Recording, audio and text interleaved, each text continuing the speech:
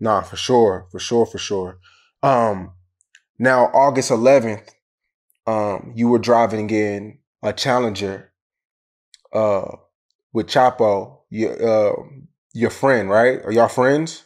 Yeah, he's another he's another artist. You know, we grew up together. First of all, like that's my boy. Like I've been knowing him 12 years plus, just like everybody else in the Wolfpack.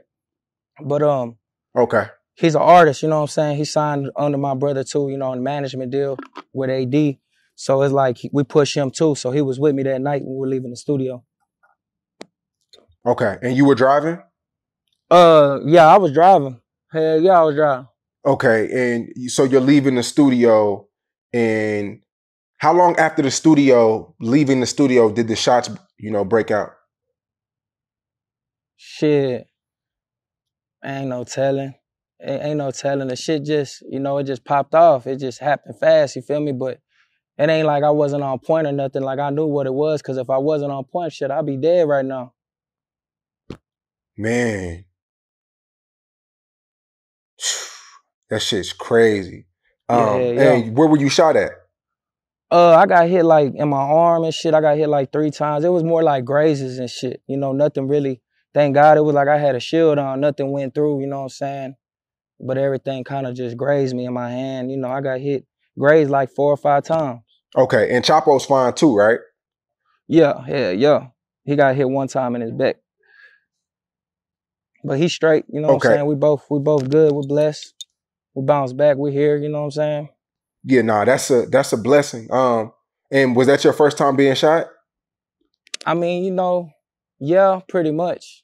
That's the first time, but it's like it happens every day. You feel me? Like in the hood and shit. My brother's been shot every like it happens all the time, you know what I'm saying? So it's like shit, I've already felt the pain from seeing my brothers go through it, my pops. So it was like something that was like more shocking, you feel me?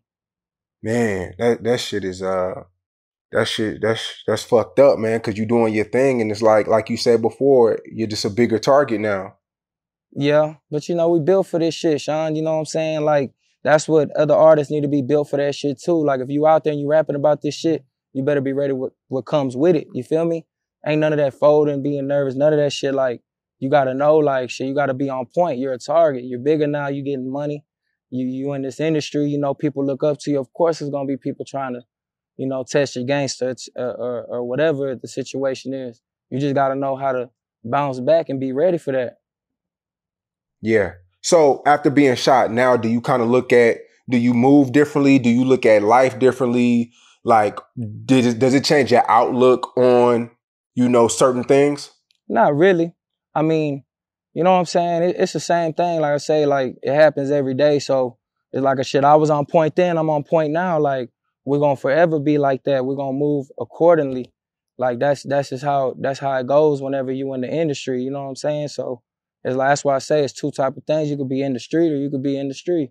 You feel me? And I I've, I come from the streets, but I don't plan on, you know what I'm saying, staying that way forever. Like I I just reach out to them and let them know, like, look, it's bigger things, you know what I'm saying? Own your own business, get this money, you know, get out the hood, get your family out the hood, you know? Cause not more or less because of the people, but because of, you know, how it is, the environment, the laws, everything.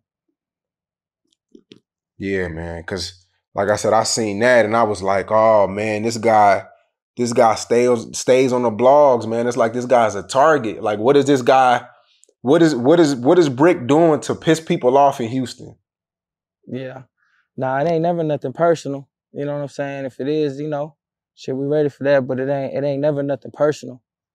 Everything, you know, it's love on our end to everybody out there that's that's making it happen and doing their thing. You feel me? I just it's, it's a situation should be popping off like that. Just gotta be ready.